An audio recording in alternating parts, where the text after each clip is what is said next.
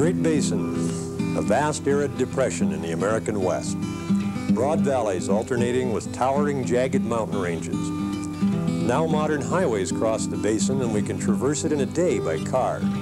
Hundreds of years ago, it must have seemed much larger to the people here who traveled on foot, carrying all their worldly goods and living in scattered campsites.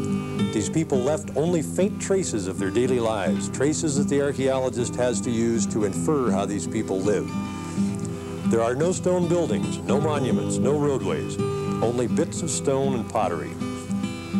Sometimes luck is with us and wooden materials survive, as in the case of the Bustos Wickiup site in eastern Nevada.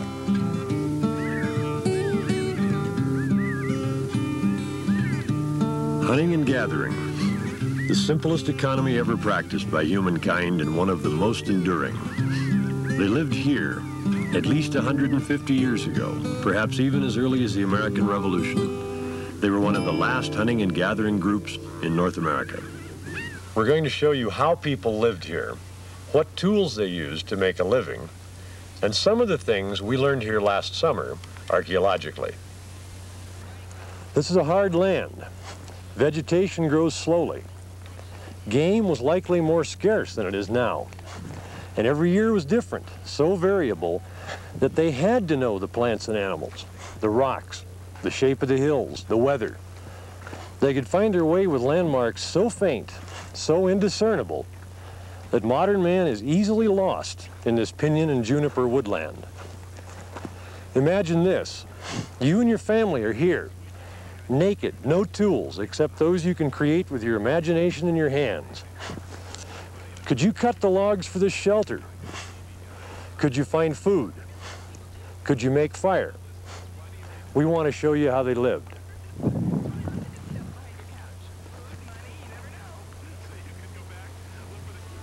Cutting logs for this shelter with a stone chopping tool takes time. They added fire, fire to char the trees and to make the chopping easier. We found here the people used two methods to cut trees. They built a fire around it and chopped away the charred wood. If that failed, they dug underneath the tree, built a fire, and chopped away the weakened roots. Here's one of the root cut stumps. You can see the remains of the roots and the trunk. Others were cut above the ground. Let's go take a look at one.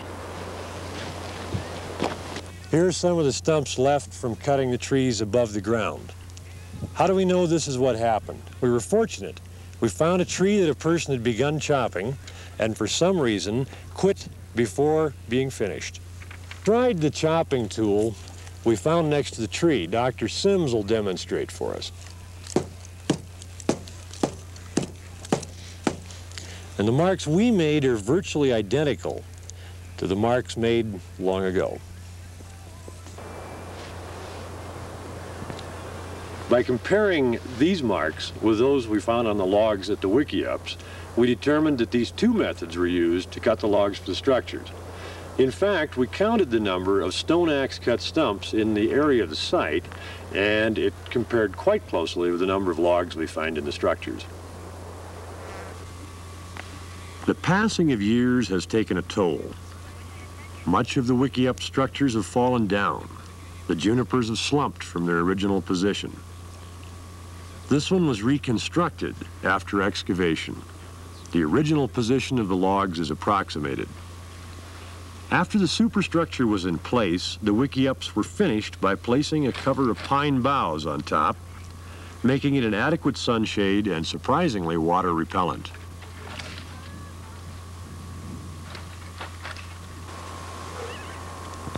Now that we've seen how the structures were built, let's turn to another major concern of Great Basin Indians. For that matter, people everywhere, food.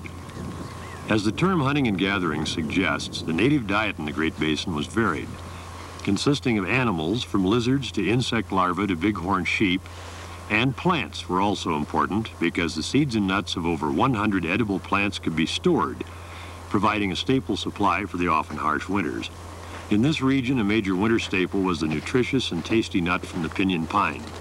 The nuts were gathered either by roasting open the green ones, knocking the nuts from the brown cones, or for a brief time of the year, picking the fallen nuts from the ground. Pine nuts are nutritious, providing about 2,000 calories and many nutrients per pound. But they had to be able to be stored because pine nuts are only available in the fall and competition from the birds and rodents for the same nuts was often severe. To protect their winter food supply, the people built stone storage facilities. Dr. Simms explains. We found eight stone circles, such as this one, in the vicinity of the Wickiup site. Pine cones were piled into the middle and then covered by a layer of cedar boughs to repel the insects and rodents. Then a layer of stones was placed on top to hold the nuts in place.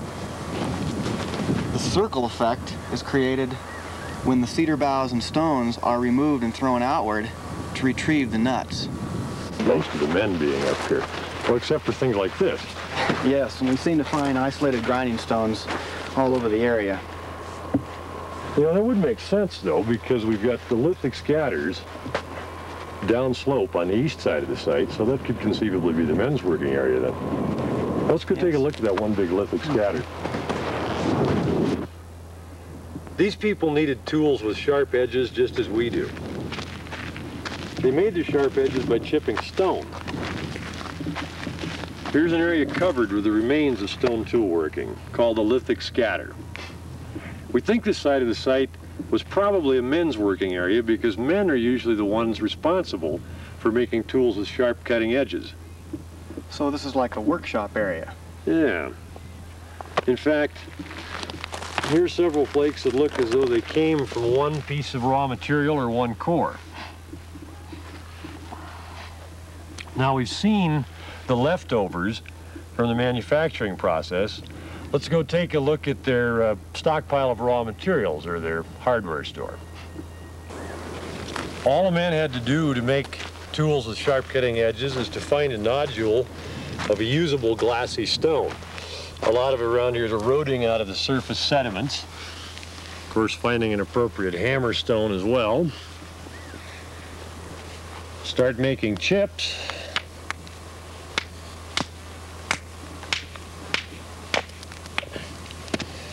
And even with one of these chips, we have a pretty usable cutting edge.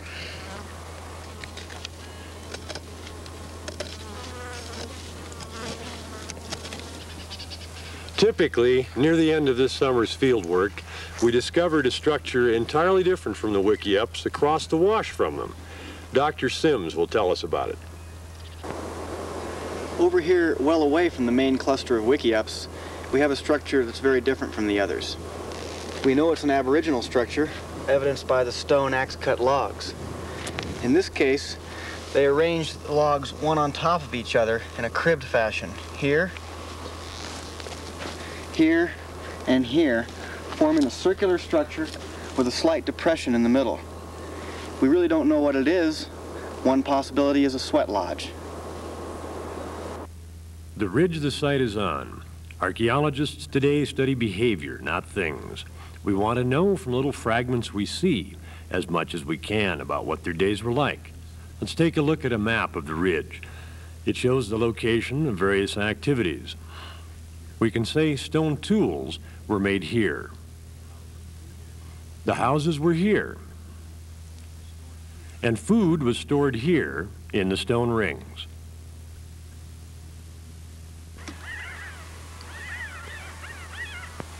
Well, it's been fun. The students learned a lot. We learned a lot. It was a good field season. Steve, what's most exciting to you here, most interesting about this site and about our work last summer? Well, scientifically or in general? So, either or both. Well, in a general sense, this is one of those sites that literally makes the past come alive. And that's related to the scientific interest as well. Well, you know how ephemeral the remains of hunter-gatherers can be. Hmm, indeed I do. And it points up to me again how very difficult campsite archaeology is to do, at least from a technical standpoint.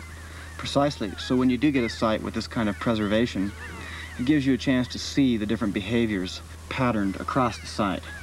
So we do pretty much know the where and the what in the journalistic sense. The who, perhaps, and the when will have to wait for further analysis. And then there's all the material remains that we didn't talk about. Right, like basketry. People here made beautiful baskets. This one's a burden basket, probably used uh, similarly to a modern pack frame for carrying whatever needed to be carried. And pottery. This is the bottom of a pot found near here, probably used to as a container for food or as a container for water. And then, of course, all the things of their metaphysical world we can't know about directly. Who were their gods? What did they call their relatives?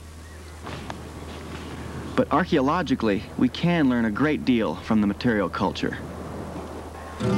A difficult life in some ways, but perhaps not such a bad one. No schedules except those imposed by nature. No traffic jams, and of course, no supermarkets. The people who once lived here no longer do. Archaeological sites like this one are destroyed every year by modern construction and vandalism. The few existing sites, such as here, which is pristine, are all we have scientifically for a small window into a large past. This way of life was humanity's for 99% of our time on the planet. A large part of our past indeed, yet one of the most difficult to trace, and in many ways the part we know the least about.